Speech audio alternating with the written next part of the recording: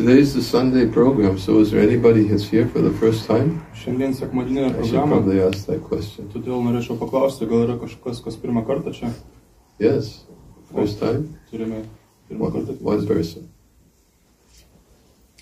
Okay. You've been to a temple before? Ar esate buvę šventykloje anksčiau? Yes, but in India, not in UK. In India. Indijose. Uh-huh. Okay. Which temple in India? Kokia Uh, šventykloje? mostly Rishikesh. Uh, Rishikesh. Okay. Nerešė kešė sako. Om Agyana Timirandasya Gyanjana Savakaya Chakshu Unminitam Jena Tasmai Shri Gurve Namaha. Mukham Karoti Vachalam Pangum Mangayate Gari. Yalpipa Tamaham Vande Shri Guru Dina Taranam Namaha Om Vishnu Padaya Krishna Pristaya Bhutale. Shrimate Bhaktivedanta Swami Iti Namane Namaste Saraswati Devi Gauravani Pacharani Nirvishesha Shamyavari Bhasta Chadesh Tarane Jai Shri Krishna Chaitanya Prabhu Nityananda Shri Advaita Gadadhar Shivasiti Gaura Bhaktivinda Hare Krishna Hare Krishna Krishna Krishna Hare Hare Hare Rama Hare Rama Rama Rama Hare Hare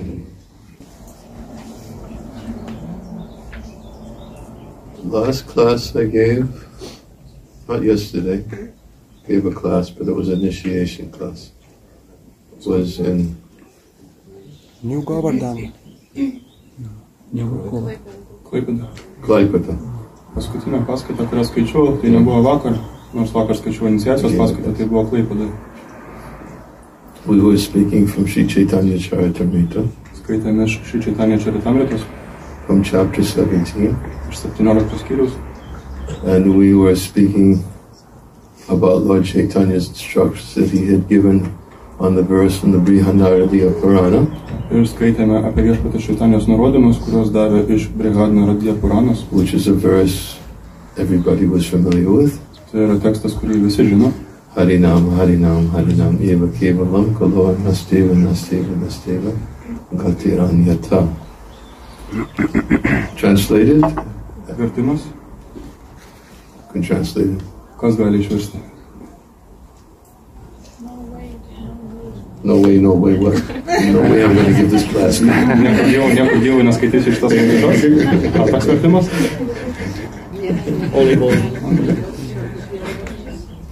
No other way. Nėra kito kelio. There is no other way. It's spiritual What? transformation. Kam nėra kito kelio? Chant your Hare Krishna mantra. Chant the holy name, chant the holy name. Nėra kito kelio, kaip tik No other way for self-realization is uh, in this age of Kali. Nėra kito kelio savęs pažinimui šiame kalėje amžiuje. Nastiyeva, Nastiyeva. There's no other way. Nes tėva, nėra kito kelio. And then we read some verses after that. Although we read them, we had to, because I spoke longer than I expected about the Kali Kalyanama Krishna, Krishna Avatar, that other important verse that Lord Chaitanya instructed. Tada paskaitėm dar porą papildomų tekstų ir buvo dar vienas svarbus tekstas, kurį viešpačiai Tanija pamokė. So that verse is Kali Kali Nama Krishna, Krishna Avatar Nama Hoite Hoisava Jagat Nistira, which means in the age of Kali, Krishna very kindly appears in which form? Šis tekstas reiškia, kad viešpats Krishna ateina kokia forma, Nama Avatar, kaip Nama avatar. which is Kas tai yra? form of his name. Tai yra jo. And what happens to anyone who associates with that avatar? Ir kas įvyksta tiems, kurie su ta forma bendrauja? They're liberated. Huh? He's as good as associating with Tai Krishna. lygiai taip pat kaip bendrauti su pačiu Krishna. And what happens Ir kas atsitinka by association with Krishna. Men равен со Кришна. Liberated. Certainly he is delivered. Yes. Don't forget, this is Lord Chaitanya's instructions. so he was speaking on these verses, and then he started to speak upon about another very important verse. That uh, he himself quotes kurį jis pats from his Shikshastaka, iš savo šikšaštakam. And although we quickly read through those verses at the end of the class, we didn't get a chance to speak about them. Ir nors ir greit perskaitėm šitos posmus pabaigoje paskaitos, neturėjom laiko apie juos pašnekėti. And uh, one of them, of course, is so important that Srila Bhaktisiddhanta Saraswati Thakur has designated it as the Siddha Pranali for Gaudiya Vaishnavas. Ir vienas iš jų yra toks svarbus, kad Šila Bhaktas Siddhanta Sarasvati nustatė jį kaip Siddha Pranali visiems gaudė vašnavams. Siddha Pranali means the means for Siddha, for perfection. Siddha Pranali reiškia būdas pasiekti Siddha arba tobulumą. Because it describes the characteristics and qualities a devotee should manifest in his service to Lord Chaitanya. Dėl to, kad tas posmas nusako, kokias savybės turėtų atsidavęs atskleisti tarnaudamas viešpačiu. And Lord Chaitanya himself, of course, also exemplified his qualities. Ir viešpačiu šitanį, žinoma, pats apreiškia šitas savybės. It's not that he just simply gave these instructions to others, but Lord, Lord Chaitanya came to teach by his example. Tai ne tik, kad jis tos posmus pamokė kitus, bet ir pats savo pavyzdžių atėjo parodyti. Because especially in the age of Kali, it's very, very difficult to follow if there's no good example. Nes ypač kali amžiuje labai sunku sekti, jeigu nėra gero pavyzdžio. So Lord Chaitanya also taught this principle by his example.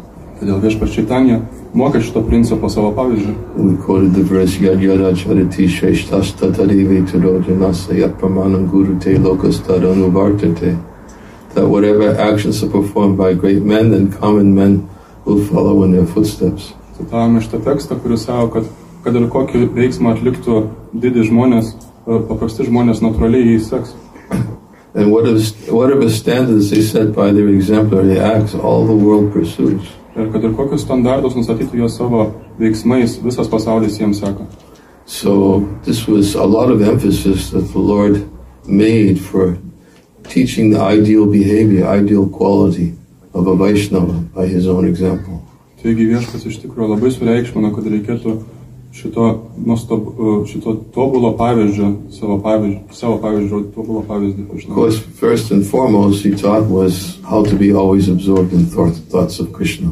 Ir žinoma, visų pačioje pradžioje įsimokino, kaip reikėtų visiškai susikoncentruoti į viešpatį Krišną. And he came to teach that by absorbing himself in the mood of the highest devotee. Ir jis to mokino, e, parodydamas, kaip susikoncentruoja, būdamas pačiu aukščiausiu vaišnavu. As Krishna said in Bhagavad Gita, the best way to surrender to him is manmana bhava mad bhakto mad yajimam namaskuru. Krišna sakė, kad toks yra būdas geriausiai jam tarnauti. This is the verse that Krishna quoted just before Savadamam Paritajamam Ekam Sharanam Bhajan, Tai yra posmas, kurį cituoja prieš parikėdžią posmą. where Krishna says, Abandon all varieties of religion and just surrender to me. Kur Krišna sako tiesiog, kad mes visas religijų formas ir tiesiog atsiduok man. Sometimes we hear this conception about surrender to Krishna and we really try to wrap our minds around it. How did, what does it mean to surrender to Krishna? Kartais išgirstame apie šitą atsidavimą Krišnai koncepciją ir nesuprantame, ką tai reiškia atsiduoti Krišnai. Everybody has a different idea of how they're s- supposed to surrender to Krishna. Kiekvienas gali kitaip įsivaizduoti, ką tai reiškia atsiduoti Krišnai. But Krishna gave all the components of that surrender in this verse, Manmana Bhava Mad Bhakta Madhyajimam Namaskuru. Bet viešpats davė visus komponentus šito atsidavimo prieš tai esančiam tekstui. Man mano bhava man bhakto. Full surrender exists in those whose minds are always absorbed in thoughts of Him. Pilnas atsidavimas apreiškiamas tų, kurie visą laiką savo protą sukoncentravė į jį. which is, of course, a difficult task. Kas žinoma nėra lengva. Even Krishna himself, in his instructions to Arjuna, gives various concessions in chapter chapter 12. Ir net viešpas Krišna 12 skyriui Aržiūnai davė šiokių tokių palengvinimų. He tells Arjuna the ultimate surrender just simply just always be absorbed in thoughts of me. Jis pasakė, kad pats geriausias atsidavimas yra visiškai būti susikoncentravus į jį. But then he says right after that, Atachitam samadnaknasum, much atachitam Oh, Abhyasa Yugena Chito Mama Jantam Dhananjaya. Forgot the verse. Atachitam Samadhatam Nashik Nosima Yistiram. Yes. He says, if you can't fix your mind upon me, always in full surrender, Ir jis sako, jeigu tu negali visą laiką sukoncentruoti savo protą pilnam atsidavimui, And he says, follow the regulative principles of bhakti yoga. tiesiog reguliatyviaisiais bhakti jogos principais. In this way, cultivate a desire to come to me. Tokiu būdu kultivuok norą grįžti pas mane.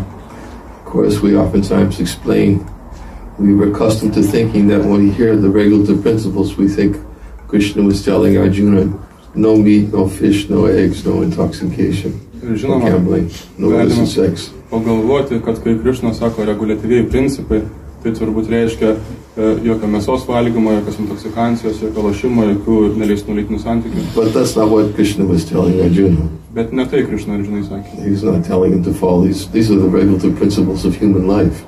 Nu, tai yra reguliatyviai žmogaus formos, gyvybės He's formos. telling to follow the regulative principles of bhakti yoga. Bhakti principai. The regulative principles of bhakti yoga is to regulate one's life around one's thoughts of Krishna. Susvarkyti su visą savo gyvenimą, kad galėtum susikoncentruoti į Krišną. We've heard Prabhupada say so many times that a devotee should mold his life in such a way that he can always remember Krishna. Esam girdėję Šilą Prabhupadą, kuris kad reikia tiesiog aplieti visą savo gyvenimą taip, kad jis būtų aplinkui koncentracija į Krišną. Or uh, mold his life around Krishna. Mold reiškia tai aplieti tiesiog kaip Just like some, sometimes when the artists, they make sculptures, they make an original sculpture and then they put the mold around it and completely around it so it takes the exact form of the sculpture. lygiai kaip menininkai padaro kažkokią tai formą, trafaretą ir padaro iš jo išlieja skulptūrą. This is true, Divya You make sculptures. Yes? Ar, ar taip procesas vyksta? So, Prabhupada say, mold your life around Krishna. Taigi Šila Prabhupada sako, išliekite į trafaretą aplinkui Krišną. If you mold your life around Krishna, Prabhupada uses the word, you become Krishnaized. Ir Prabhupada sako, jeigu išliesite savo gyvenimą aplinkui Krišną, tapsite Krišnais, Krishnaized, yeah. Because Krishnaized means doesn't mean you become Krishna. Tai reiškia, kad netapsite Krišną. It means you become completely pure by total absorption in thoughts of Krishna. Tai reiškia, kad visiškai apsivalysite dėl savo susikoncentravimo ir pasinerimo į Krišną. You become Krishnaized. Prabhupada uses the same principle on the example of putting an iron rod into fire. Kaip Šila Prabhupada duoda pavyzdį, kai geležinį strypą įkišame į ugnį. If fire, this, by association with fire, it becomes just like fire. Geležinis strypas pabuvęs ugnyje tampa pats kaip tarsi ugnis. It's iron. Jis yra geležis. But Prabhupada says, touch it. Palieskit, If sako. you don't think it's fire, just touch it. Prabhupada sako, jeigu negalvojat, kad tai ugnis, tai palieskit. It's as good as fire. Tai lygiai tas pats kaip ugnis. The more it associates with fire, it's as good as fire. Kuo daugiau jisai yra ugnyje, tuo jis labiau tampa So the ugnim. more the mind associates with Krishna, it just becomes Krishnaized. Ir kuo labiau protas koncentruojasi į Krišną, tuo labiau tampa toks kaip Krišna. So manmana bhava mad bhakta madhyaji mam namaskuru. The surrender, real surrender for the devotee is to how to f- mold one's life around Krishna. Taigi tikras susidėjimas atsidavusi yra, kaip išlieti savo gyvenimą aplinkui Krišną. Therefore Krishna says, Atta chitang samat atmam nashiknosi stiram. If you can't fix your mind on me all the time, then follow these regulative principles of bhakti yoga. Todėl Krišna sako, bet jeigu negali visą laiką koncentruotis į mane, tai sek reguliatyviaisiais bhakti jogos principais. In this way, cultivate a desire to attain me. Tokiu būdu kultivuok norą ateiti pas mane. We oftentimes quote that verse from the, can't remember where it's from. Smartavya satatam vishnor vismartavyo najatu chit savavidi naseda shiva eti eva kinkara. Dažnai cituoju, cituojam šitą tekstą, smartelės tada mišinu, But Krishna must always be remembered, kad Krišna visą reikia atsiminti and Krishna should never be forgotten. ir kad Krišnos niekad nereikėtų pamiršti. These are the two principles that one has to follow. Tai yra tie du principai, kuriais reikėtų sekti. All the rules and all the prohibitions that are given in the scriptures are meant to serve these two principles. Visos taisyklės ir draudimai, kuriuos duoda šventraščiai, turėtų tarnauti šiems dviems principams. We should always try to remember Krishna and be very conscientious not to forget him. Visą laiką reikėtų atsiminti Krišną ir būti labai sąmoningiams, kad jo nepamiršti. However, our Vaishnava acharyas have written a very nice, interesting commentary on this verse. E, Bet yra vienas Višnavo Čedė, kuris davė labai įdomų komentarą šiam tekstui. And the, the verse, uh, uh, Vishwanath Chakravarti Thakur explains. Višvana Čakravati Takūra aiškina, In this verse, there are two principles that need to be followed. šiame tekste yra du principai, kuriais reikėtų sekti. Always remember Krishna. Visą laiką atsimink Krišną, Don't forget Krishna. nepamiršk Krišną. Now, if somebody is always remembering Krishna, Tas, kuris visą laiką atsimena Krišną, why does somebody have to tell them, don't forget Krishna? kodėl reikėtų jam sakyti nepamiršk?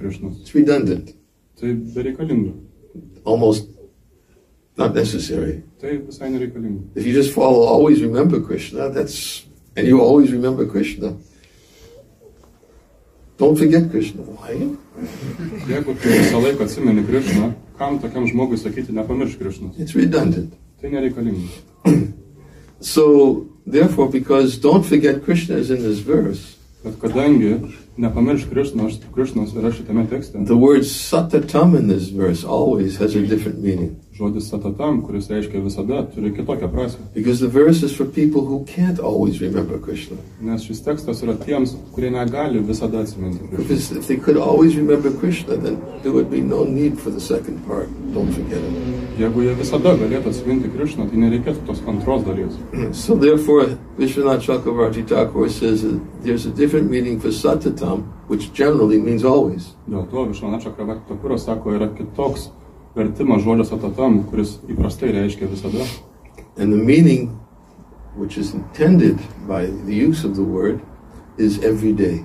Ir tas vertimas, kuris, kurį bando pasakyti šis tekstas, tai yra kiekvieną dieną.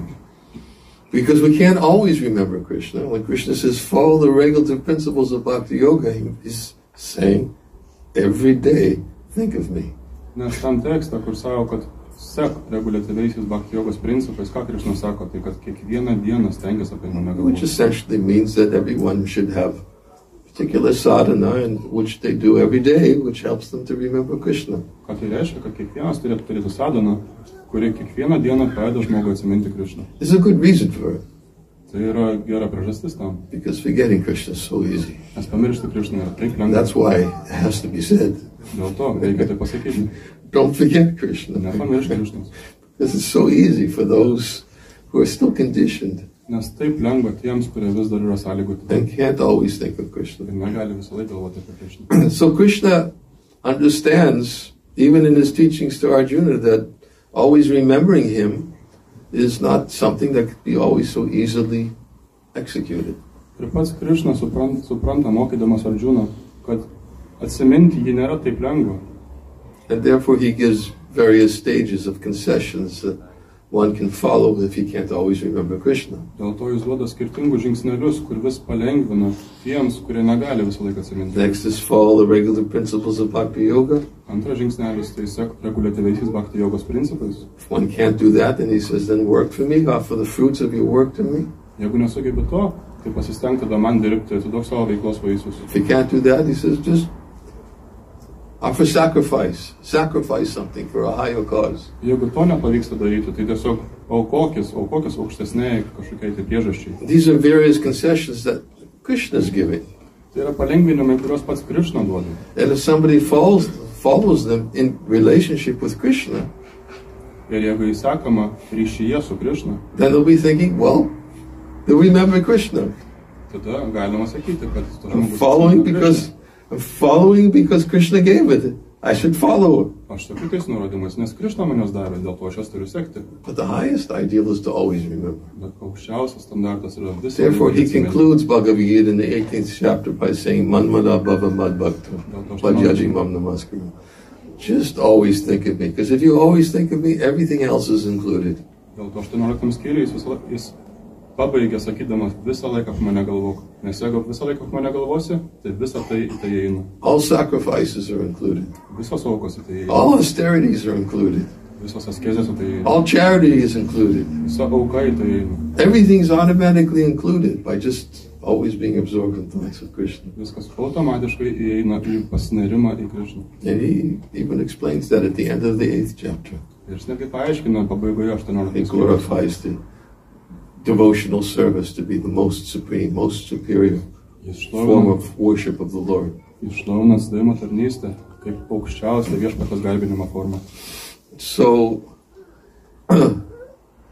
Lord Chaitanya taught by his example Taigi viešpats šeitanija mokino savo pavyzdžių, uh, how to be always absorbed in thoughts of Krishna. kaip visą laiką būti pasinėrus mintimis į Krišną, But he always gave, he also gave instructions.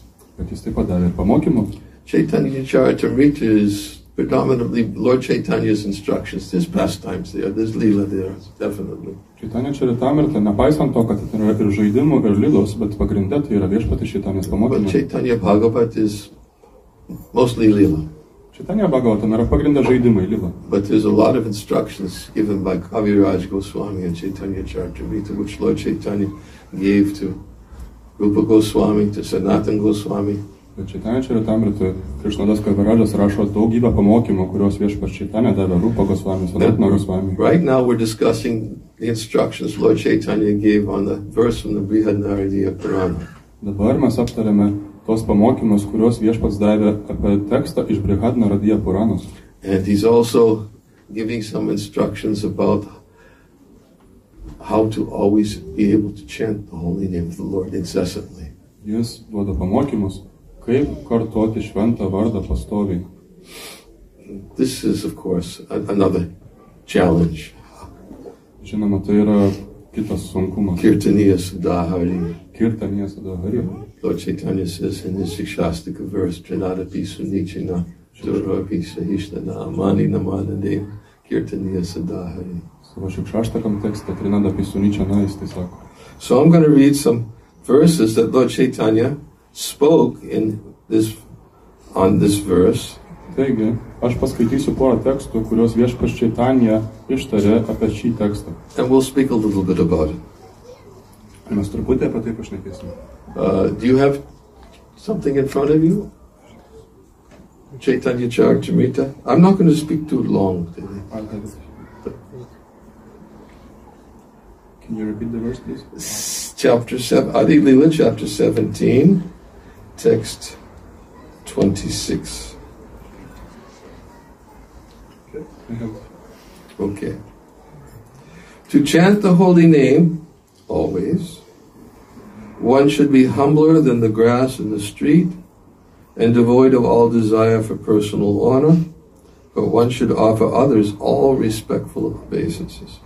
Tam, kad visą laiką galėtų kartuoti šventą vardą, žmogus turėtų būti nuolankesnis už gatvėje trypiamą šiaudą, turėtų neturėti jokio noro asmeniniai pagarbai ir turėtų išreikšti visą pagarbą kitiems.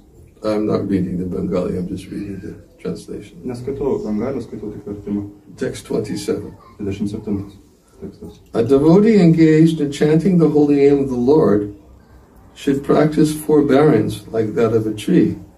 Even if rebuked or chastised, he should not say anything to others to retaliate.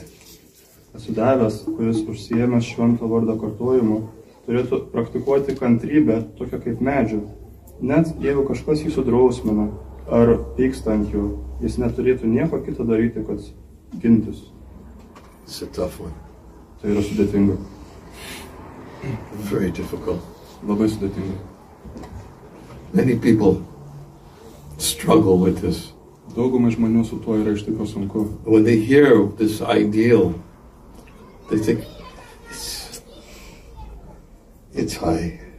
Kai jie išgirsta apie šį idealą, jie pagalvoja, tai labai aukštai. Of course, Lord Chaitanya demonstrated it by his own humility. Nes viešpats Šeitanija pademonstravo savo paties nuolankumu. Like, for instance, when there was criticism of him by Prakashananda Saraswati and the Mayavadi sannyasis, Pavyzdžiui, kai Prakašnandas Sarasvati ir Majavadas Anjasi jį kritikavo, and Tapa Mishra and Chandrasekhar Acharya was so disturbed hearing how Lord Chaitanya was being criticized as a fanatic.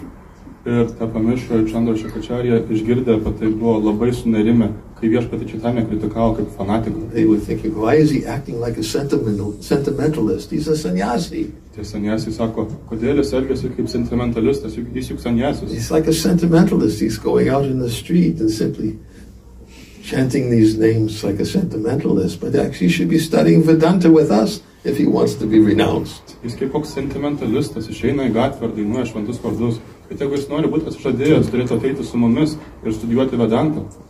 And when Tapan Misha heard this, they were so disturbed they could not tolerate hearing such criticism. Ir kai tą pamiršą išgirdo, tai jie buvo taip sunerime, jie negalėjo pakęsti tokio, tokios They didn't kritikos. want Lord Chaitanya to go, Jie nenorėjo, kad viešpas Čitanė išeitų, but Lord Chaitanya went. bet viešpas Čitanė išėjo. Then he, all 60,000 Mayavadi sannyasi. Ir visi 60 tūkstančių majavadžių saniesių. And when he entered, he, he sat down in the place where they all washed their feet. Ir kai jis atėjo, kuris atsisėdo ten, kur kiti plovė savo kojas. He didn't think himself fit to sit with them. He thought maybe I'll wash my feet and I'll, I'll sit here. Jis nelaikė savęs lygių, kad sėdėtų su jais. Jis pagalvojo, galbūt aš atsisėsiu ten, kur kiti plauna kojas. Imagine, Pagalvokit, he's teaching by example, jis mokė savo pavyzdžių. humility. Nuolankumas. Sitting, sitting in an unclean place, and then Prakashananda Saraswati came over and, and he said all these things to Lord Chaitanya. Sėdėti nešvarioje vietoje. Ir atėjo prakašnundas Sarasvatis ir pasakė visus tos dalykus viešpačiu Čitanijai. Of course, Lord Chaitanya tricked them a little bit. Žinoma, viešpas Čitanija juos šiek tiek apgavo. He manifested an effulgence brilliant, more brilliant than millions of suns. Jis apreiškė švitėjimą, kuris švitėjo labiau negu milijonai saulių. And because they were only interested in, the, in this effulgence, then when they saw, they said, wow, he must be really spiritual person. Ir kadangi mane vadžius traukė tik tai švitėjimas, kai jie pamatė viešpat Čitanę švitint, jie pagalvojo, oho, labai patyrusi He sielą. was very expert. He knew how to attract the minds of others. Jis buvo labai patyręs, jis žinojo, kaip pritraukti kitų protus. But still, he, he didn't, uh, in any way, he didn't uh, put forward himself as, as an elevated saintly person. Bet vis tiek jis nestatė savęs kaip kažkokios tai pažengusios sielos. Oh, when Lord Chaitanya went to see Sarvabhauma Bhattacharya, Arba kai viešpas Čitanė aplankė Sarabhamą Batačerį, he glorified Sarvabhauma. He was also, Sarvabhauma Bhattacharya was like a, he was known as the reservoir of all bad logic. Sarabhamą Batačerį buvo žinomas kaip visos prastos logikos tvenkinys. Ir vis tiek viešpas Čitanė jį išlovino. Because he had an impersonal conception of the Supreme. Nes Sarabhamą Batačerį turėjo impersonalią viešpatę supratimą. And even though he was so conversant in Vedas, Ir nors ir taip gerai mokėjo Vedas, he couldn't present the Vedas properly. jis nemokėjo tinkamai jų pristatyti. Because whenever he would present, he would cloud the true meaning of the Vedas with his interpretation. Nes kai tik jas pristatydavo, jas, jis pridengdavo tikrąją jų esmę, vedų esmę. Lord Chaitanya knew that. Viešpačiai tą netai žinojo. He knew he was the reservoir of all bad logic. Jis žinojo, kad jis visos prastos logikos tvenkinys. Because he was a preacher, Bet kadangi jis buvo pamokslautojas, he was very respectful. jis buvo labai pagarbus. You know, when he says one should respect everyone, Jis sako, reikėtų gerbti visus. it's not just theory. Tai ne tik teorija. He was teaching how to respect. He, res- he respected Sarvabhauma Bhattacharya. He glorified him. Jis mokė, kaip reikia gerbti. Jis gerbė Sarabhamą Batačerį, jį išlovino. He said, You're a most learned scholar. Sako, tu labiausiai patyręs mokslininkas. And uh, uh, because you're such a learned scholar, I should submit myself totally to you for instruction. Kadangi tu toks ir mokslininkas, man reikėtų pas tave ateiti ir mokytis. I've come to hear from you. Aš atėjau iš tavęs išgirsti. And he took the humble position, sat, sitting humbly before Sarvabhauma Bhattacharya. Ir jis priėmė nuolankę padėtį, nuolankiai šalia jo atsisėdo prie Sarabhamą Batačerį. And he was so humble Ir jis buvo toks nuolankus. that Sarvabhauma Bhattacharya preached impersonalism for seven consecutive days and he didn't say a word. Kad Sarabhamą Batačerį septynias pastovės dienas jam aiškino apie impersonalizmą ir viešpačiai ne, neištarė nei žodžių. And his humility was just too much for Sarvabhauma Bhattacharya. Ir jo nuolankumas buvo per daug Sarabhamą Batačerį. He's trying to understand. I've been speaking to you for Vedanta. You asked to hear from me. I've been speaking to you consecutively but I don't even know what you're thinking. Jis sako, tu manęs prašai pašnekėti, tai aš šnekėjau tau septynias dienas ir tu man nieko nesakėjai, nežinau, ką, ką galvoti. Sometimes we hear somebody say something, we immediately jump down their throat. Kai mums, pavyzdžiui, kažkas kažką pasako, mes iškart norim jį peršokti, kažką pasakyti atgal. We think, yes, I have to defeat him. Turiu jį nugalėti.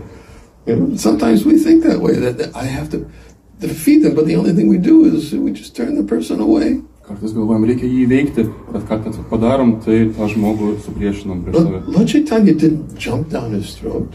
Viešpas šitanija nebandė jo peršokti. Of course, I'm not saying you should sit and listen to someone for seven days either. Žinoma, nesakau, kad reikėtų sėdėti ir klausyti kažkieno septynias I dienas. doubt you'll find anybody who could speak for seven minutes Visų pirma, nežinau, ar rasit, kas šnekės pastoviai septynias minutės and present a consistent, impersonal philosophy. ir pristatys uh, neprieštaraujančią personalistinę But filosofą. Sarvabhauma Bhattacharya was such a scholar, he spoke for seven days. Sarvabhauma Batašerė buvo taip išsilavinęs, kad septynias dienas galėjo šnekėti. And finally asked him, Ir galų gale paklausė you, šitą. can you give some indication of what's going on in, in your mind? I, I've been speaking now continuously. You've said nothing. Gal gali truputį paaiškinti, kas vyksta tavo galvoje, aš septynias dienas išneku ir tu nieko nesakai. Then Lord Chaitanya s- simply told him, I said, I, I've been listening to Vedanta, but I, I haven't been able to listen to your interpretations because you cloud the Vedanta with, with your interpretations. Viešpas šitanė sako, aš išmanau Vedantą, bet negaliu klausyti tavo interpretacijų, nes tu Vedanto tarsi suklaidinai. The statements themselves are as brilliant as the sun, Patys teiginiai, jie šviečia kaip saulė. but coming from your mouth, they've been covered, and I couldn't couldn't listen to your your your interpretation. So therefore, there's nothing I could say about what you told me. Bet išėję iš tavo burnos su tavo interpretacijom, jie yra uždengti. Dėl to aš nieko negaliu atsakyti tavo tos interpretacijas. Of course, and then he explained. Žinoma, po to jis He paaiškino. explained in such a way that we could go into all the details of how Lord Chaitanya defeated Sarvabhauma Bhattacharya, but he defeated him in such a way that he was respectful. Ir paaiškino tokiu būdu. Žinoma, mes galėtume paaiškinti, kaip jis aiškino. Bet jis paaiškino taip, pagarbiai paaiškino. Even when Lord Chaitanya defeated Keshava Kashmiri, who was so proud, Pavyzdžiui, kai Šitanija nugalėjo Kešavo Kašmyrį, kuris buvo labai he was known as the Digvijay. Jis buvo žinomas kaip Digvidžiai. It means that he, everywhere he would go, he was always victorious and, and defeating anyone he would have a, a debate with. Tai reiškia, kad ir kur jis eitų, kad ir su kuo turėtų debatus, jis visą laiką laimėdavo. And he was so proud of his ability to defeat others that as soon as he would defeat them, he would say, Okay, put your name here. I defeated you. Show it. Ir jis taip didžiausias savo pergalėmis, kad kai tik nugalėdavo kažką, sakydavo, jums pasirašyk į mano pralaimėjusių sąrašą. But he heard about young Nimai Pandit. Bet jis kai išgirdo apie jaunąjį Nemai And he panditą, was thinking that, yes, he wants to go. He wants to meet this person. If I defeat him, I'll get so many followers. pagalvojo, "Taip, man reikia eiti nugalėti jį, o kai nugalėsiu, gausiu tiek daug pasiekėjų. Because Nimai Pandit was known as the greatest scholar in Navadvip at the time. Nes Nemai panditas buvo žinomas kaip geriausias išsilavinęs mokslininkas Navadvipoje tuo metu. But when Digvijay, Keshava Kashmiri, came before Lord Chaitanya, Bet kai Digvidžiai Kešavo Kašmyrė atėjo prieš viešpatį Čaitanį, and Lord Chaitanya said, uh, "Please speak. Let me hear what you can say about the uh, about whatever topic you'd like to speak about. Maybe you'd like to speak about the Ganges." ir viešpas Čaitanė sako, šnekėk, prašau apie bet kokią temą, kokią tik nori, gal nori apie gangą kažką pasakyti. So Keshava Kashmiri then composed spontaneously 100 verses in glorification of the Ganges. Ir tada Kešavo Kašmyris spontaniškai sukūrė šimtą posmelių apie šlovindamas gangą. Just like the wind. Tai buvo tarsi vėjas plaukė. And Lord Chaitanya, young Nimai Pandit, picked out one small defect in one of the verses. Jau- jau- jaunasis Nimai panditas viešpas Čaitanė rado mažą klaidelę vienam posme. And when he pointed it out, Keshava Kashmiri was flustered. Ir kai jis ją nurodė, Kešavo Kašmyrį buvo susigėdęs. And all of his students were surrounding him, Lord Chaitanya's students, they were surrounding him. Ir visi viešpatės Čaitanijos mokiniai ir jo mokiniai juos buvo apsupę. Ir jis labai susigėdo. Jis pradėjo juoktis. No.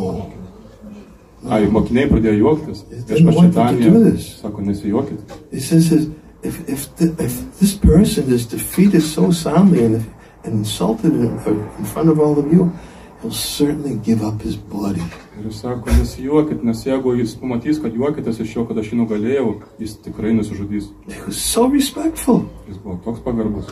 And the way he did, he defeated, he had to, he had to defeat them. Jis turėjo jį nugalėti. Jam reikėjo tai But he's įrodyti. very conscientious and respectful. This is his example. Jis buvo labai sąmoningas ir pagarbus, rodė savo pavyzdžių. We can think of so many examples.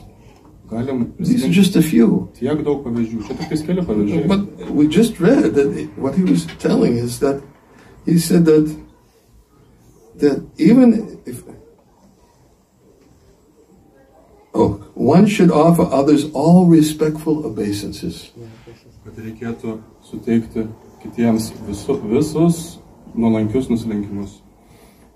This is not so easy to do. Offer others all respectful obeisance. Netaip lengva suteikti kitam nuolankius nusilenkimus. But at least in our minds, we should be respectful towards everyone. Bet bent jau mintise reikėtų gerbti visus. In fact, there is a verse in the Chaitanya Bhagavat, Iš tikrųjų yra posmas Čaitanė two verses Du, du posmai. in this connection. Susijęs su, šit- su to, ką šneka. This is Madhya Lila chapter 10. Tai yra Madija Lila dešimtas skyrius. They're short verses, you won't have them. Tai yra trumpi tekstai. Kahari na kari ninda, Krishna Krishna Bali, Ajhaya Chaitanya se, Jini Pekaheli. One who chants the name of Krishna without blaspheming anyone will easily conquer the unconquerable Lord Chaitanya. This is, this is, uh, this of course is Vrindavan Das Thakur. Vrindavan Dastakūras sako, tas, kuris kartuoja šventą viešpatės vardą, kitų nekritikuodamas, lengvai pasieks viešpatį Čaitanijų. One who chants the now repeat it, one who chants the names of Krishna without blaspheming anyone will easily conquer the unconquerable Lord Chaitanya. Tas, kuris kartuoja Krišnos vardą, kitų nekritikuodamas, lengvai pasieks nepasiekiamą viešpatį Čaitanijų. Although Lord Chaitanya is otherwise unconquerable, undefeated, Nors kita vertus viešpats Čaitanija yra nepasiekiamas, nenugalimas. he can be defeated by humility. Jį galima nugalėti nuolankumu. And in the next verse he says, O kitam tekste jis sako, Nindhaya nahika labhya sava shastrikaya sabhara samhana bhagavat dhamahaya. All the scriptures declare visi šventraščiai skelbia, nothing is achieved through blasphemy. nieko nepasieksime kritiko. Bhagavad Dhamma teaches one to offer respects to others. And Dharma moko gerbti kitus. And Bhaktisiddhanta Saraswati Thakur, a short commentary. Ir trumpas komentaras, Bhaktisiddhanta Sarasvati Takūra. He says, It is not proper to criticize others in order to establish one's supremacy out of, out of false ego. Nėra gerai kritikuoti kitus, norint įrodyti savo viršenybę. And that's how Lord Chaitanya offered respects to everyone. Tokiu būdu viešpačiaitanė kitiems rodė There was no false ego there. Nebuvo netikro ego. You know, sometimes we try to defeat others or criticize others because it, it lifts up our position.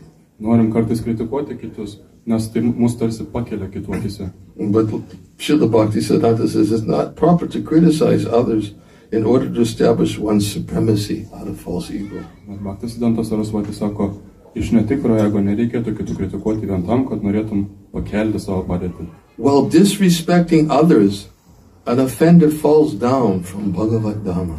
Negerbdamas kitų, tas nusidėjėlis krenta iš Bhagavad Dharmos.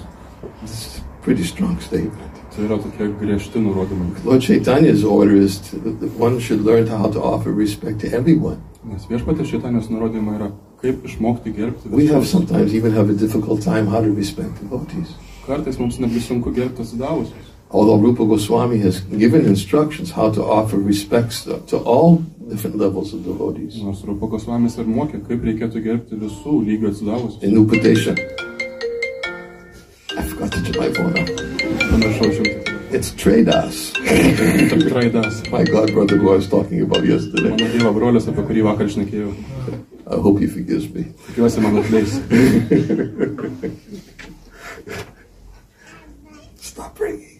Deus não está medo.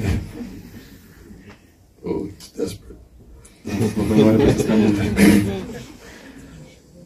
Sorry, I got to get back where I was before. It, it switched when they when the. I shut him off. Offendo.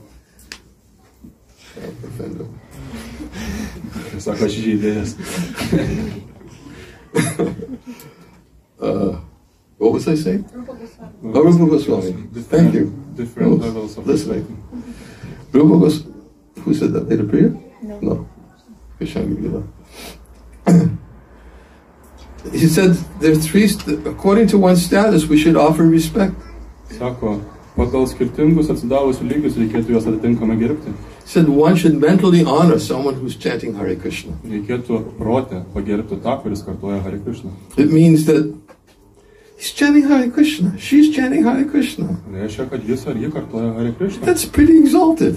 Tai pakilėtas lygis. I mean, even one's chanting Krishna's names. Krishna's ready to, you know, to free one from so, many reactions from sinful life. No. But this person is chanting Hare Krishna regularly. Net kartą ištarus Krišnos vardą, Krišna pasiruošęs išlaisvinti iš tiek daug reakcijų, o čia žmogus kartoja Hare Krishna pastoviai. Such person can be considered a devotee, a Vaishnava. Tokį žmogų galima laikyti atsidavusiu važnavu, But their behavior may not always be so ideal.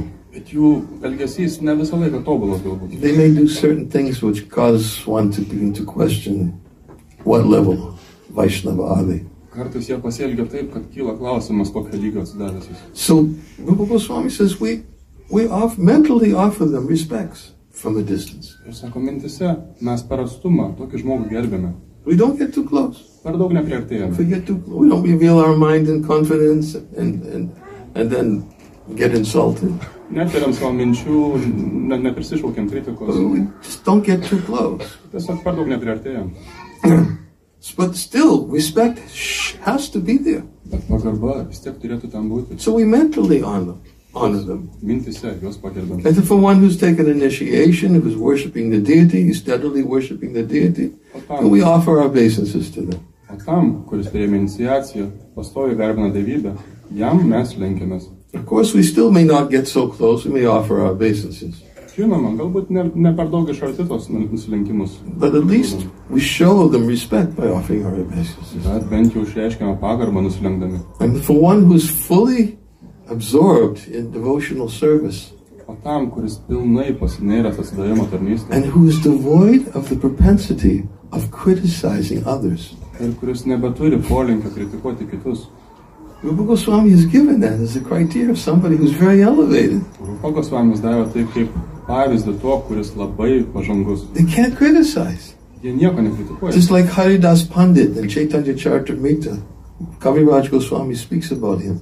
Lygiai kaip Haridasa pandita, šitam čia retam ir tai Krishnadas Kavaradas šneka apie jį. He was the pujari who was worshipping the deity when Kaviraj Goswami came to take, take blessings from, from the deity to, to begin writing Chaitanya Charitamrita atgausi palaiminimus ar hityčisnām ir tai jisai buvo about Haridas Pandit, it was said that he could not see a fault in anyone. He was called Adosha Darshi. Darshi means one who sees. And Adosha means no faults. Adoša reiškia jokių. He could not find faults in anyone. Jis nerasdavo trūkumo niekur. He found faults in himself, but in any, everyone else, he just could not find any faults. Savy trūkumų rasdavo, o kitose niekad. So he was highly qualified individual who was Pujari serving the deities, but he was a dosha darshi. Jis buvo tiesiog pudžeris, garbino dievybę, bet buvo Adoša Darši. There are other examples of great Vaishnava acharyas who were dosha darshi. Yra kitų pavyzdžių didžių viešpačių, didžių ačerijų, kurie buvo Adoša Darši. They think themselves dainya. They're very, they're very humble. Jie turi dainę, jie labai nelankus. They, they don't think themselves worthy to even point out faults in others. Jie negalvoja, kad yra nusipelnę nurodyti kitų klaidas. How can somebody like myself, who's filled with so many faults, point out faults in others? This is how they think. Kaip aš, kuris esu pilnas klaidų, galiu nurodyti kitiems jų klaidas? Jie taip galvoja. Therefore, they don't point out faults. Dėl to jie nerodo kitų klaidų. Of course, Prabhupada says that sometimes one is in a position of a spiritual mastery, he has to point out faults. Žinoma, Šila Prabhupada sako, jeigu uh, atsidavęs yra dvasinio mokytojo padėtyje, jis turi nurodyti How klaidas. can he instruct if he doesn't point out faults? Kaip jis gali mokyti, jeigu nenurodys klaidų? But he has to do it with love, Bet jis privalo tai daryti su meile, pity, affection.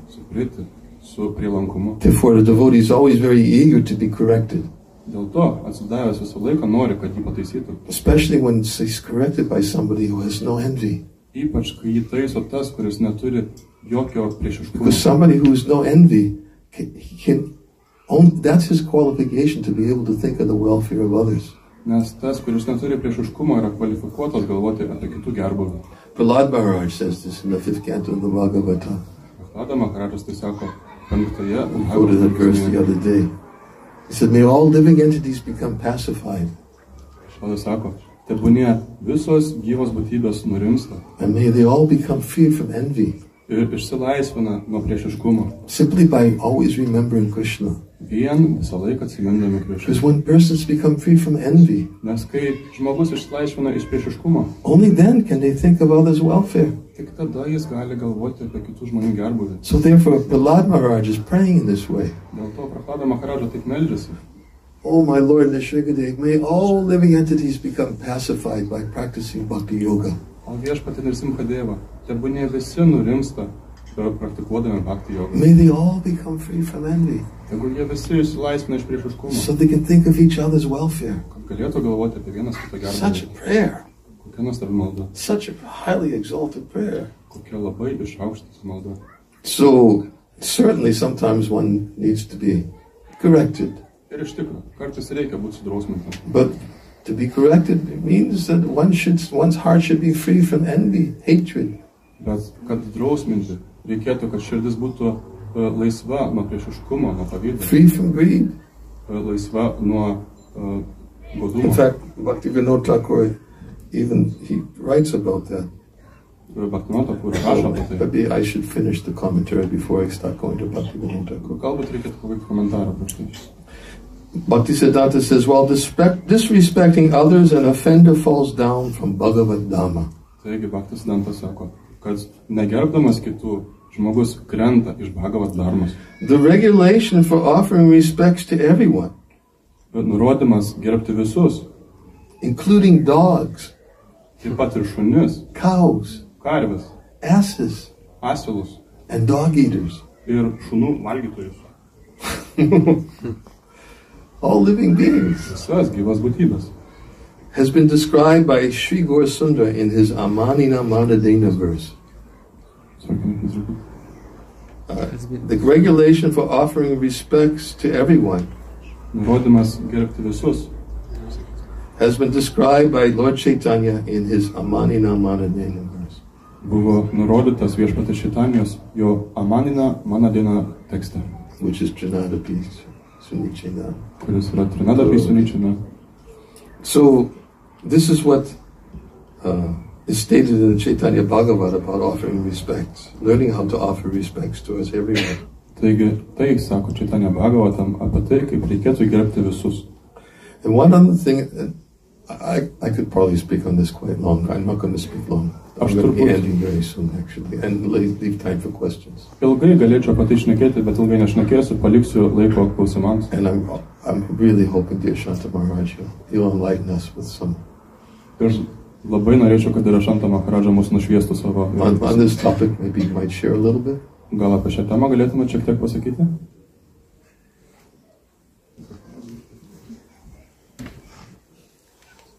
I'll, I just thought I'd let you know I'm going to ask you.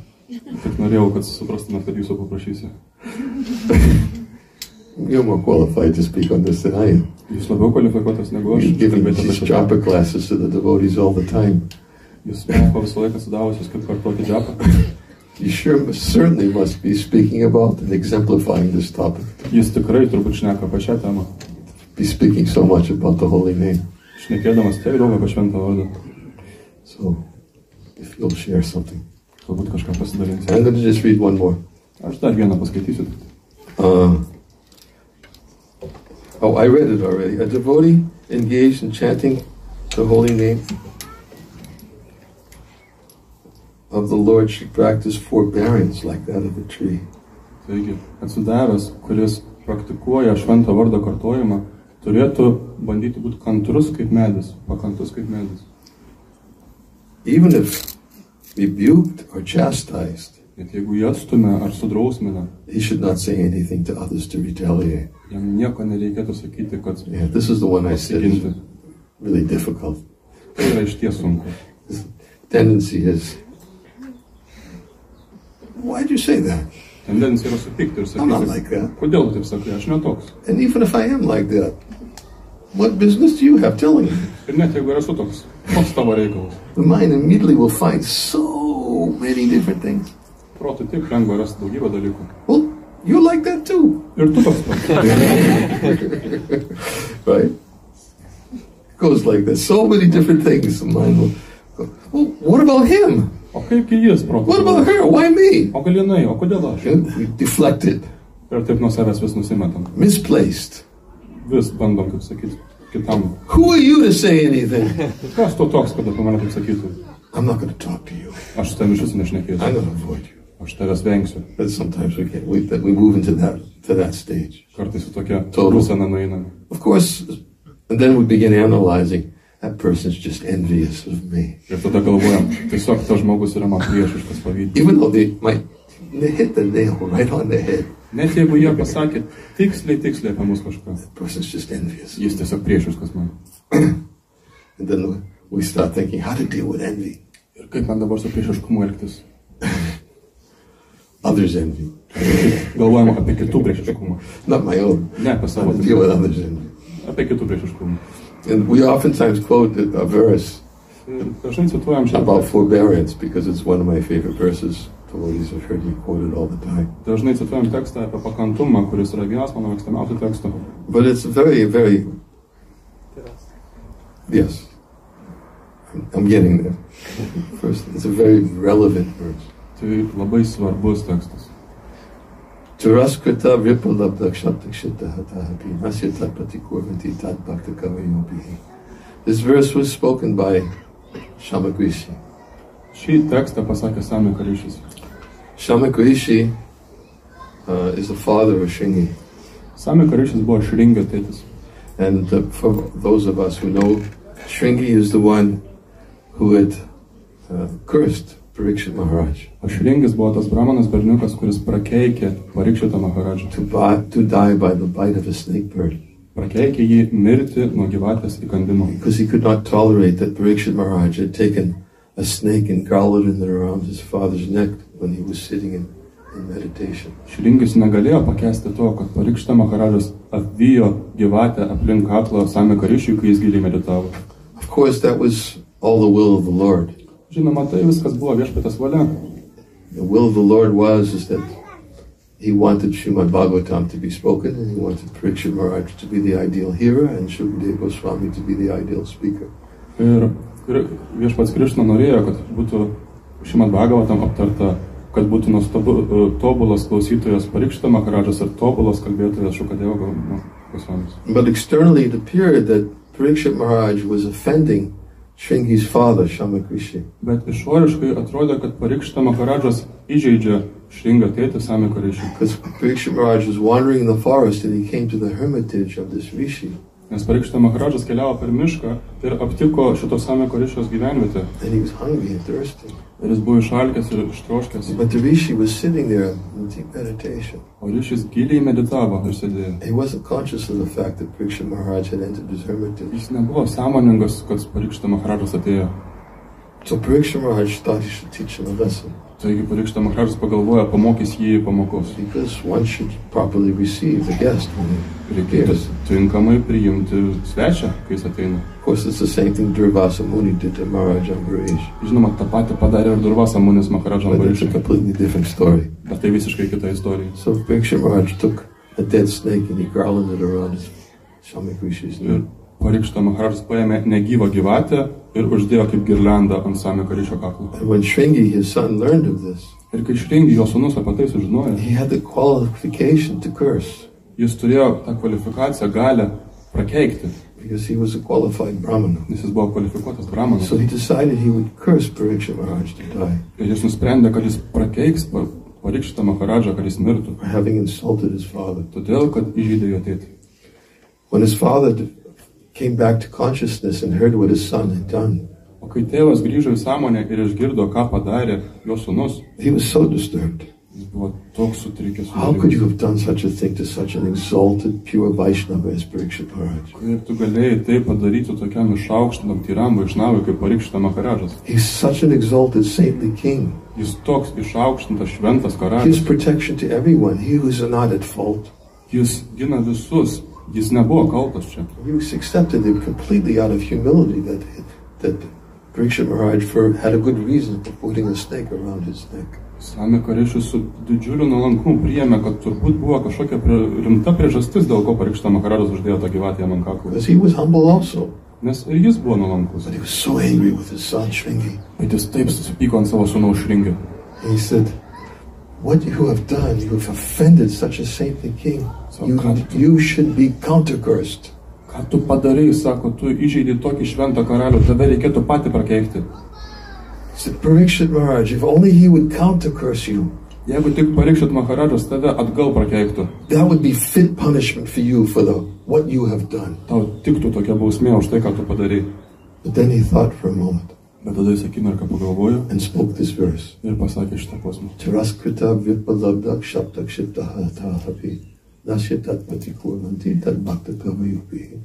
The devotees of the Lord are so forbearing Viešpatės atsidavusiai tokie pakantus, that even if they're cheated, net jeigu su jais nesažiningai pasielgiama, cursed, jeigu jas prakeikia, insulted, jeigu įžeidžia, neglected, atstumia, disturbed, su, sudramina or even killed, arba nužudo, they're never inclined to avenge themselves. jie niekad nebando keršyti.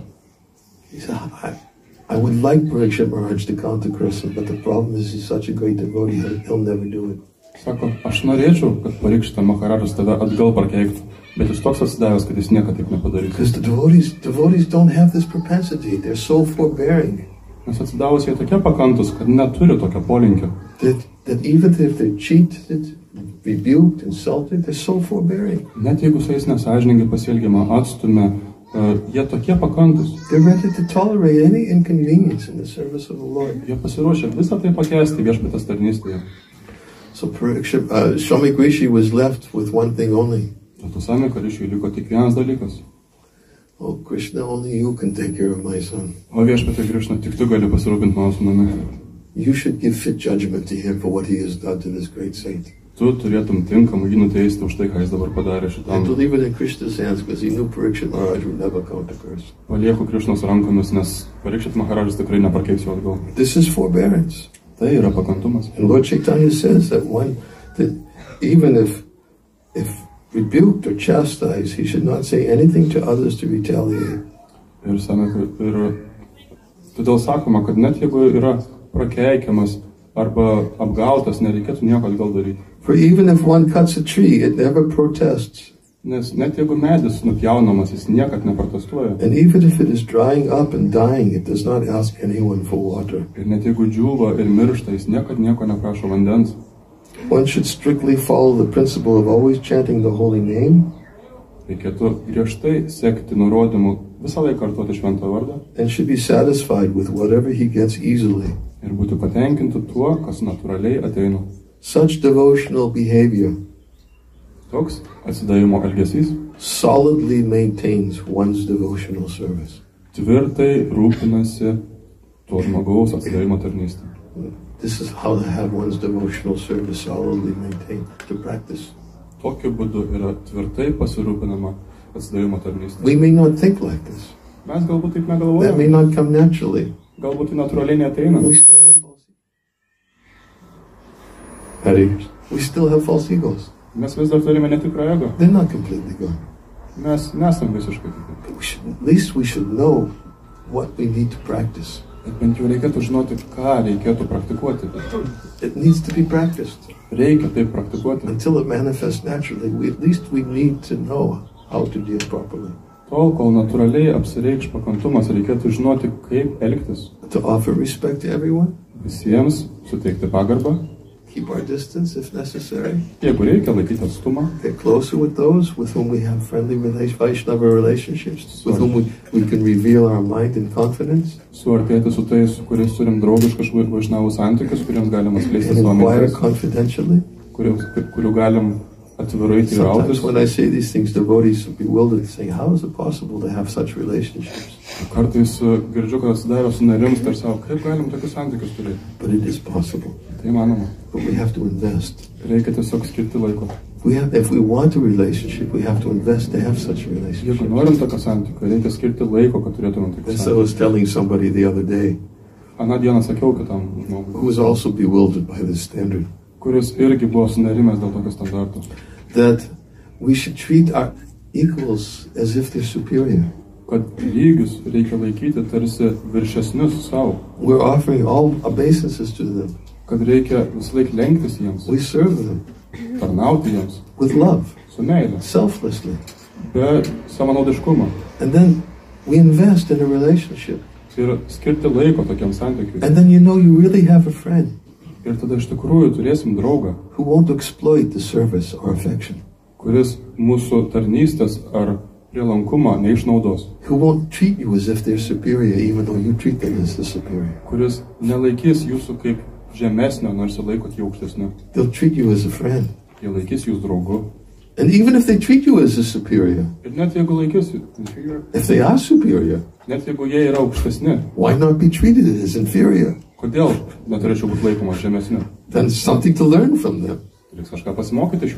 But if one's looking for friendly relationships, Bet jeigu ieškom draugiškų santykių, one actually has to invest in such friendly relationships. They don't come cheaply. reikia skirti laiko tokiems santykiams. Jie pigiai neteina. Because usually our criteria is my friend is somebody who is always thinking of me. Nes mūsų kriterijus dažniausiai draugas tas, kuris apie mane galvoja. My friend is always somebody who's doing something for me. Draugas tas, kuris man kažką daro. And then we use that as our criteria as a criteria. That's who I, I'll choose my friends. Ir naudojam tokį kriterijų, kad va taip rinksiuosi draugus. I'll choose my friends as somebody who's always doing something for me. Kad rinksiuosi tą, kuris visą laiką kažką It's man a daro. very selfish standard to choose friends. Labai savanaudiškas standartas draugų rinkimus. If you continue doing something for me, I'll be your friend. Jeigu toliau kažką dėl manęs darysi, būsiu tavo draugas. But we need to have a different standard if we want real friendship. Bet reikia kitokio standarto, jeigu norim tikros draugystės. Real friendship comes when there's affection, pretty, love. Tikra draugystė yra tada, kai būna prielankumas, priti, meilė. And these types of uh, friendly relationships are essential in a society of, of Vaishnavas. Ir tokie draugiški santykiai yra būtini atsidavusioje bendruomenėje. And therefore, if we want to solidly maintain our devotional service, Ir jeigu norim tvirtai laikyti savo atsidavimo tarnystę, we should really reikėtų iširdį priimti visus viešpatės šitanės pamokymus ir pavyzdį. Jeigu priimsim juos iširdį, tada turime vilties, kad galėsiu tęsti kartoti Hare Krishna. Because chanting Hare Krishna is the means for perfection. Nes kartoti Hare Krishna yra tobulumo sėkimo būdas. Kodėl? Nastyeva, Nastyeva, Nastyeva. Because there's no other way. Nes nėra kito kelio. This is also Lord Chaitanya's instruction. Tai taip pat viešpatės šitanės There's no other way. Nėra kito kelio. No other way, no other way. Three times. Tris kartus nėra kito kelio, nėra kito kelio, nėra kito kelio. Harinam, Harinam, Harinam, Eva Kevala. Harinam, Harinam, Harinam. Thank you very much. Maharaj, could you please say a few words?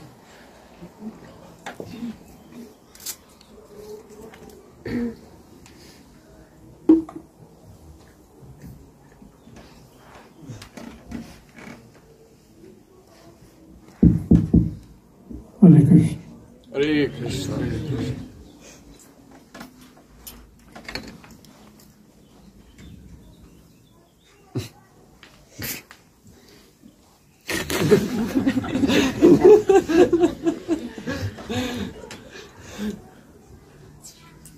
Uh, just a couple of points from your class, Mara. Thank you so much. It was a wonderful class. Ačiū Jums, Maharadž, už paskaitą. Tiesiog porą dalykų užstrigo iš Jūsų paskaitos. In regards to you know, preaching to others, Šnekant apie pamokslavimą kitiems, we've all had experience of Christians Bible bashing. visi patyrėme turbūt kaip krikščionis kiša Bibliją. So we shouldn't Bhagavad Gita bash either. Tad nereikėtų kišti Bhagavad-gytos. And just one incident that happened to me about a month ago in England. Ir tiesiog toks incidentas, kuris man įvyko prieš mėnesį Anglijoje. And I met a couple of Christians on the street. Sutikau porą krikščionių gatvėje. I didn't have any devotional clothes, so they didn't know I was a Hare Krishna. Neturėjau savo atsidavusio rūbų, jie nežinojo, kad aš esu krišnaitas. And I think I even had a jockey hat on, so they couldn't see my seeker either. Man atrodo, buvau su kepuraitė, tai jie nematė ir mano šikos. So they were holding a placard, and I was I came up and I said, "Oh, what does this mean?" Jie turėjo lankstinukus, aš priejau, sakau, kas čia. And I, it usually it's the usual Christian message, of course. Ir žinoma, įprastas krikščionių, įprasta krikščionių žinutė. So they spoke a little bit, and I listened. Jie truputį pašnekėjo aš paklausiau. So then I said, "Yeah, I'm from another religion, but I, I have a few questions I'd like to ask you."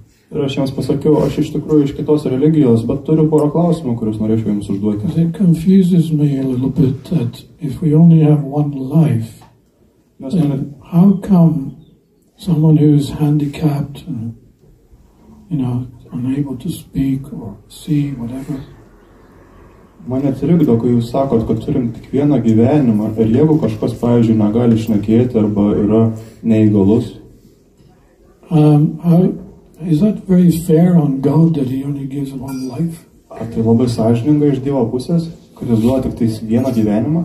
And I was going through different questions like this, Ir uždavinėjau klausimus panašius all about heaven. Isn't there something even higher than heaven? apie dangų, Heaven is the only goal. ar nėra kažko aukščiau, negi dangus, tai čia jau pats aukščiausias tikslas. Anyway, what I was doing was just actually preaching to them, Aš, but not in a way that I was actually preaching to them, but in a way that I was asking them, you know, what does your Bible mean by this? ir iš tikrųjų, ką aš bandžiau padaryti, tai pamokslauti jiems, bet ne taip, kad tiesiogiai pamokslauti, o aš jų klausiau, ką iš tikrųjų reiškia jų Biblija. So then they would say something, and then I would say something but We had a good time together. Ir jie man taip kažką atsakydavo, aš jiems kažką pasakydavau ir taip smagiai praleidom laiką. And the way I finished it was, well, I actually have to go now, but it was really, really nice to speak with you. There's not many of us left in the world like like us, meaning that I wasn't trying to be better than them, but I, I brought them that we were equal.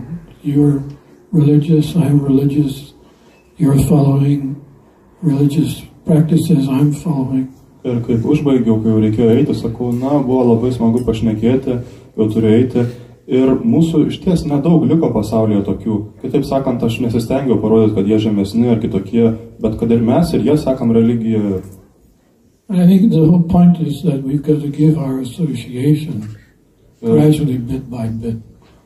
jeigu trumpai tariant, tai man atrodo, kad reikėtų duoti savo bendravimą po truputį. You know, and this other point that you made, Maharaj, about Lord Chaitanya's his style of preaching. Ir Maharadž, jūs šnekėjote apie viešpatės Čaitanijos pamokslavimo būdą, where he came and sat in a very humble place. kai jis atėjo ir atsisėdo į labai nuolankę vietą and he revealed this effulgence, ir apreiškė savo švitėjimą, which was, how did you explain, like a million suns, kur jūs paaiškinat kaip, kaip milijonas saulė. you know. And the fact that he was so humble that he was, you know, listening to them for quite some time. Ir kad jis buvo toks nuolankus, kad jų klausėsi, Even they were criticizing him, nors ir kritikavo jį, but he didn't take an offense. bet jis neįsižeidė. You know, instead he, he took a very subordinate positions. You're all very senior persons, and uh, I have really no knowledge and no understanding. Jis priėmė nuolankesnę padėtį, kad jūs visi tokie išaukštinti, o aš neturiu jokių žinių, jokio supratimo. This is how Prabhupada also approached his guru and, and Krishna as he started his preaching in America. I have no devotion, I have no understanding, Um, so I'm taking shelter of you because I know that uh, if you so desire, you will make my preaching successful. Ir Šila Prabhupada, kai pradėjo savo pamokslavimą, jis atėjo prieš Guru ir Krishną ir taip atsakė, aš neturiu jokių žinių, neturiu jokios kvalifikacijos ir tik jūsų malonė, jeigu jūs norėsite, mano pamokslavimas duos kažkokių vaisių. And as you said, at some point they were so overwhelmed by his association Ir jūs paaiškinat, kad kažkurio tai metu jų bendravimo dėka, jo bendravimo dėka jie buvo tokie uh, sutrikę, they wanted him to speak. kad norėjo, kad jis toliau kažką pasakytų. Iš pačiai tam. that was all he was waiting for. Jis to ir te laukia iš tikrųjų. oh, you want me to? Oh, well, I will say a few words then. Okay. Aš porą žodžių pasakysiu, jeigu be. and those few words, you know, he delivered them home. Was it six, 60,000. 60,000, Ir jūs per tos including the Prakashanandas. Tų žodžių pasakė visiems 60 tūkstančių ir prakašinandai. So this is a kind of a nice um, instruction for us because we're nowhere near being very qualified. First of all, even even I've been a devotee for 50 years, but you know I'm nowhere near uh, being qualified as one should be qualified. Tai yra geras pamokymas mums, nes mes tikrai net nesam priartėję prie tos kvalifikacijos. Maharadžas sako, net pats 50 metų praktikuoju, bet nesu priartėjęs prie tos tinkamos kvalifikacijos. Anything we have is all the mercy of, of Srila Prabhupada or our Guru and Krishna. Ir ką mes tą turime, tai šilos pravopados gurų ir Krišnos malonė. So, to in reflection on all this, we need to, before preaching, we need to be qualified preachers. Taigi, susumuojant, prieš pamokslaujant reikėtų būti kvalifikuotiems pamokslautojams. You know, get a little bit of effulgence before you speak. Įgyti šiek tiek švitėjimo prieš išnekant. Like when Prabhupada was walking through New York City, everyone knew, they didn't even know him, but they knew there was something different about him. Kai Šilo pravopada ėjo per New Yorką, niekas jo nepažinojo, bet suprato, kažkas su juo yra ypatingo. Yeah, and become humble, Ir tapkite nuolankus. not superficially, but genuinely humble. Ne kažkaip išoriškai, bet iš tikro nuolankus. I understand the philosophy. These are the three ways in which he delivered them. Ir supraskit filosofiją. Tokiais, Indulgence, humility, and Philosophy. philosophy. tokiais trim būdais viešpačiai Tanija išvadavo tuos sa- sanjėsius. Tai buvo švitėjimo, uh, nuolankumu ir filosofija. Thank you. Hare Krishna. I,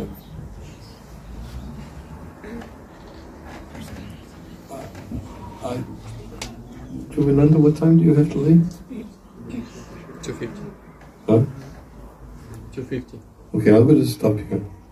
Sustosiu čia vakaračius. Okay. Is that okay? Gerai. And what's next? Kas toliau? Oh, okay.